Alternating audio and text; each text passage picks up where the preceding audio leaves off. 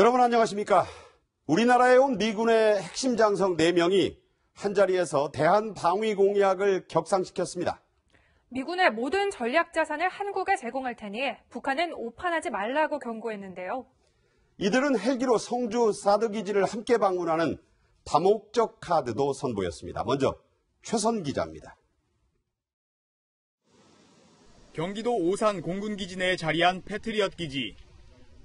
미군의 핵심 지휘관들이 나란히 섰습니다. 해리 해리스 태평양 사령관은 미 서부 해안부터 인도까지 지구의 절반을 책임지는 사령관입니다.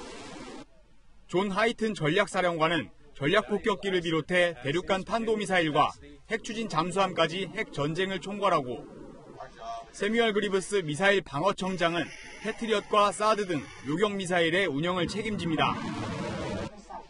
미군 수뇌부가 동시에 한국을 찾아 한자리에서 기자회견을 한 것은 처음 있는 일입니다.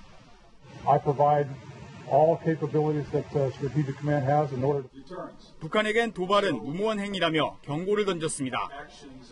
The consequences are severe on both sides, obviously. 다만 군사적 행동은 최후의 보루라는 점을 강조하며 수위를 조절하는 듯한 발언도 내놨습니다. Uh, the, uh, most important starting point uh, is the diplomatic starting point. So uh, we, we hope and, and we work for a diplomatic solution uh, to, the, to the challenge presented by um, uh, Kim Jong-un. 미군 수뇌부들은 기자회견 이후 헬기편으로 사드 기지를 방문했습니다.